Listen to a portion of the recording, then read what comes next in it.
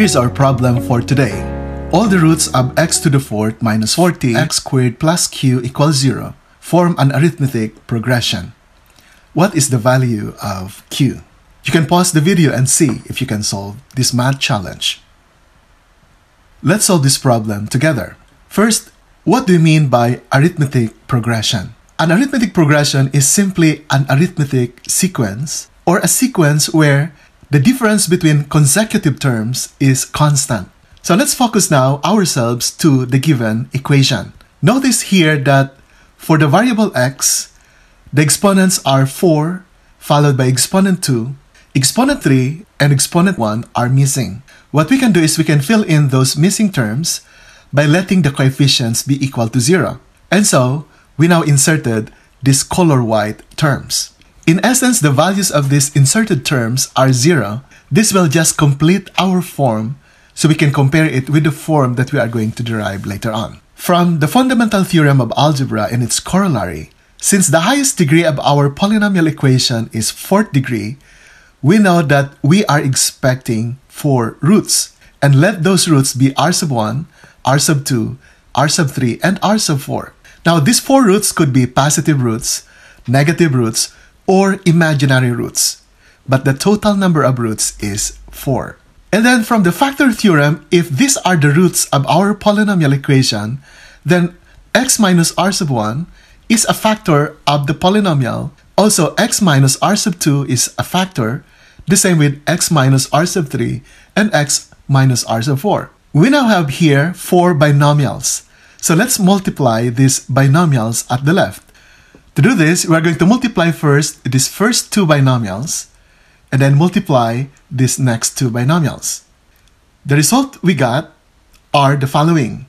The product of this first two binomial equals this part and the product of the last two binomials is represented by this part of our equation.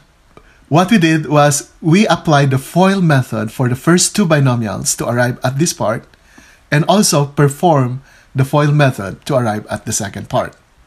We now have here two factors, a trinomial times another trinomial.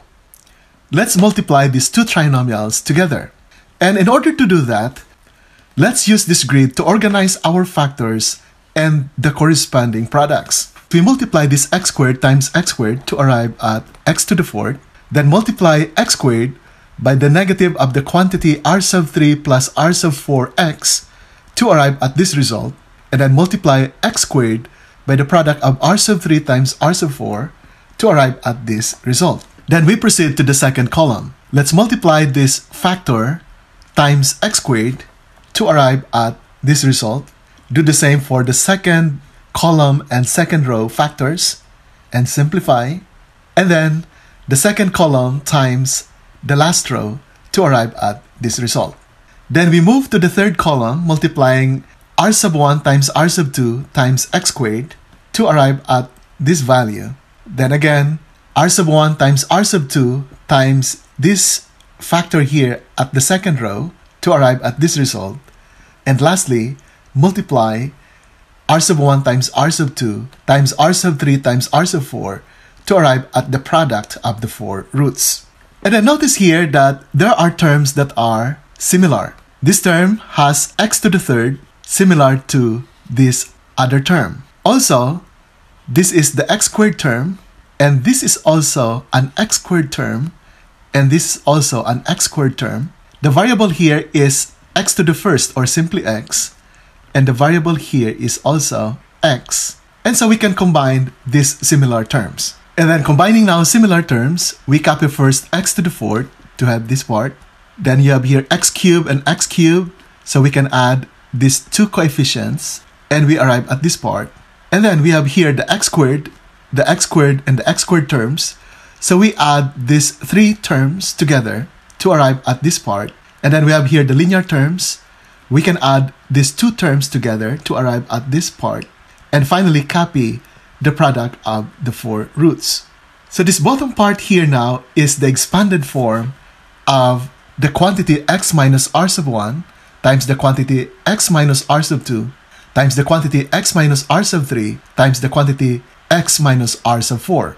And since this expanded form is equivalent to our given equation, then we can do comparison of the coefficients of these two equations. That means the coefficient here of x to the fourth must be the same as whatever is the coefficient here. So 1 and 1 are the same. This coefficient here of 0 must be equal to this coefficient of x cubed. Both of them are coefficients of the same x cubed variable. Also, this negative 40 must be equal to this expression. This 0 must be equal to this next expression here. And this q must be the product of r sub 1, r sub 2, r sub 3, and r sub 4. So we now have, therefore, these following equations.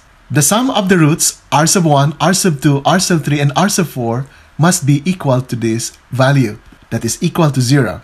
We disregard the sign because 0 is neither positive nor negative. Also, this entire expression here, which is the coefficient of x squared, must be equal to this negative 40, which is the coefficient of x squared also.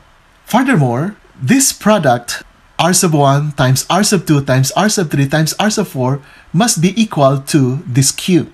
And so we now have this other equation. We now have here three equations in four variables. We still need one more clue in order to find the value of q. And the clue is in the statement that the roots of this fourth degree polynomial form arithmetic progression. So if the roots form arithmetic progression, the roots could look like this. If the first root is k, the next root could be k plus d, the third is k plus 2d, and the fourth is k plus 3d. If you subtract any consecutive terms here, the difference is d. And that is constant whatever consecutive terms you subtract. But this form is not very helpful because other than knowing that the sum of this is zero, there's nothing much that we can do. What is helpful is the fact that if the sum of the roots is zero, then the form of the roots must be symmetric. That means if negative k is one root, the other root could be expressed as positive k, so that negative k plus positive k equals zero. And what is the distance between negative k and k? The distance is k minus negative k, which is equal to 2k. And since we have arithmetic progression, the difference here also, whatever is the number here, must be 2k, and the difference between this number and whatever number is here must also be 2k. So let's find those two other roots. This number here is 2k, then we know that the number at the right should be 3k, and also getting the difference between negative k and negative 3k, we also got positive 2k. And so negative 3k, negative k, k and 3k now form an arithmetic progression representing the four roots of our given polynomial equation. So our task now therefore is to find what is the value of k. Let's do that. Knowing that the product of the roots equals q, so this part here is equal to q, and representing the four roots to be negative 3k, negative k, positive k, and positive 3k, we now arrive at this product and simplifying this, we got 9k raised to the fourth. This is now our expression for q, but still we do not know what is the value of k. From the part of the equation that is equal to this negative 40, we have this equation. This equation was the one we derived when we computed the expansion of the four binomials. Since we let r sub 1 equals negative 3k, r sub 2 equals negative k, r sub 3 equals k, and r sub 4 equals positive 3k, we can now substitute these values to r sub 1, r sub 2, r sub 3, r sub 4 in this equation. Here is now the result of the substitution. And simplifying, we arrive at this equation. Notice here that negative 3k squared minus 3k squared will result to 0, and this pair also will result to 0. So what is left is negative 10k squared equals negative 40, or k squared equals positive 4 or k equals plus or minus 2. Knowing now that k squared equals 4, we can now compute for the value of q because q is this expression that is equal to q. We can now re-express this since we already know that k squared equals 4, then we just write this as 9 instead of k to the fourth, we write that as k squared raised to the second power. That is because of the power of power rule. And substituting now the value of k squared to be equal to 4, we now arrive at the value of q to be 144. So our final answer therefore is q equals 144. Although we are not asked to find all the four roots, we can also verify that the roots of this fourth degree polynomial are negative 6, positive 2, negative 2, and positive 6. We arrive at that because we said that r sub 1 is negative 3k, and knowing that the value of k is positive 2, then we arrive at r sub 1 equals negative 6. The same reasoning is applied to arrive at the other roots. And so multiplying negative 6 times positive 2 times negative 2 times positive 6, we also arrive at 144. If we let k be equal to negative 2 because the roots here are plus or minus 2, still we arrive here at positive 6, positive 2, negative 2, and negative 6, and you multiply those four roots, still we arrive at 144. And so, for the final answer to our math problem for today, the value of q is 144. So thank you very much and we hope to see you again in our next video.